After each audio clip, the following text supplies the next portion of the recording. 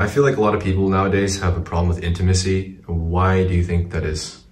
Uh, dude, I mean, I was thinking about this the other day. As we were walking past those sculptures in uh, by the castle. You know, they're all boy, girl, boy, girl, boy, boy girl, and they're all uh, sculptures around intimacy. And I'm thinking about that.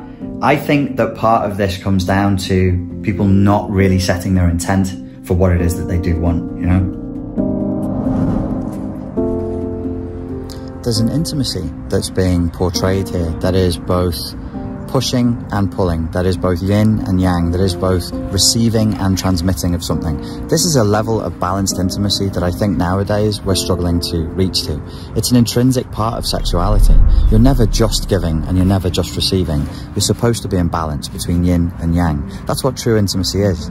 The idea that our sexuality is some spontaneously occurring natural force that just pours out, I think, is a ridiculous one.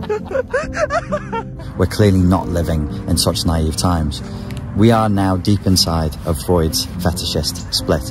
You cannot simply desire naturally. The way that our lives have been commodified and our desires have been commodified has made it so that you can't just want something. The culture has actually trained you what to want. And as Slavoj Žižek points out, that's not enough. The final corruption, the final perversity is it doesn't just train you what to want, but how to want. So we don't even know how to desire unless we're taught first how to do it. That's how toxically passive we've become. And this is the effect, I think, of not having any kind of an intent.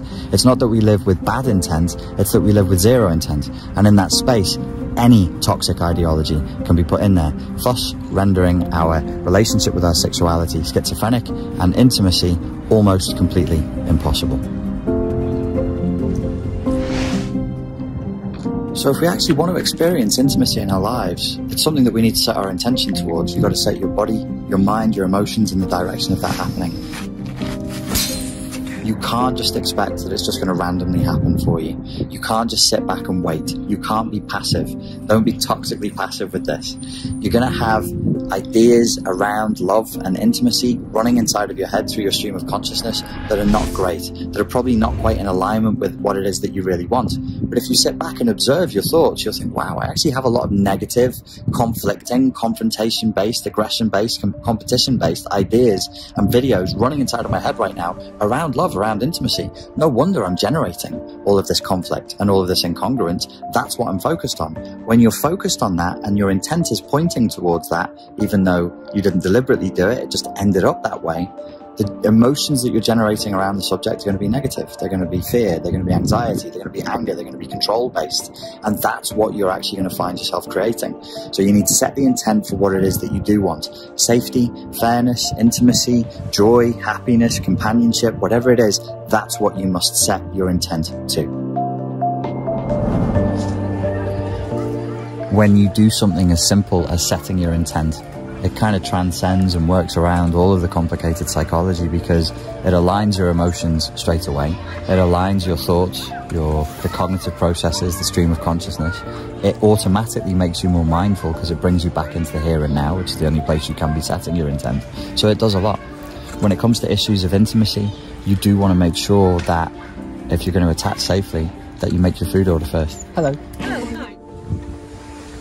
And there it is.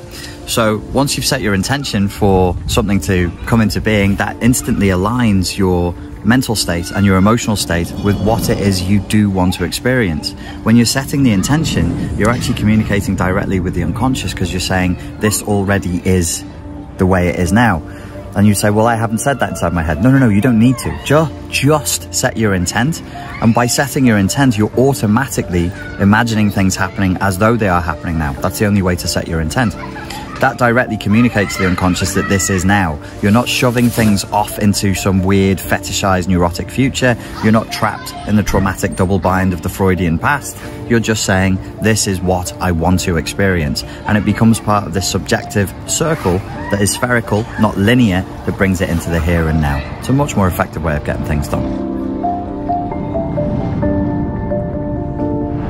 When it's time to start looking at setting your intent inside of relationships in the aspect of intimacy. This could be a sexual relationship or it could be something between you and a friend or a business colleague or a family member. When you're setting your intent for that safe attachment where everybody is working within the safety of clearly expressed boundaries because boundaries like politeness and manners keep everybody safe. It lets everybody know what they can and can't expect. It lets people know where the no is. There are areas that you don't go to, you go this far and no further. That's a good thing. It's positive to have those kinds of boundaries. It's impossible to set those kinds of boundaries though, unless you have set your intent for what it is that you do want.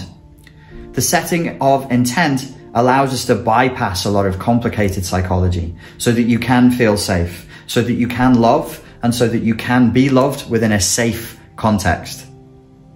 Setting your intent can simply be boiled down to five words. Ask for what you want.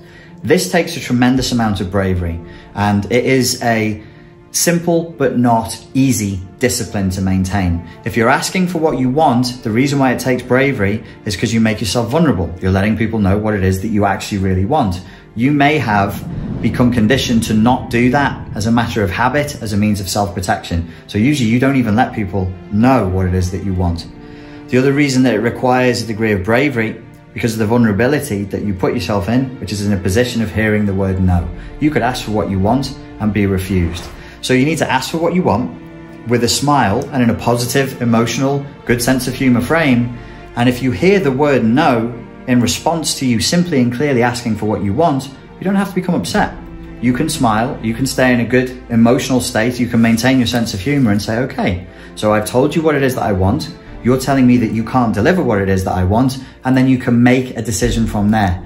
This means, again, that when we just jump directly to setting the intent and then working towards the fulfillment of that intent, it makes us move forward in terms of our emotional maturity because this is not something that two people coming from an emotionally immature frame can do. They manipulate, they cajole, they uh, infer what it is that they want. Only two adults can ask for what they want.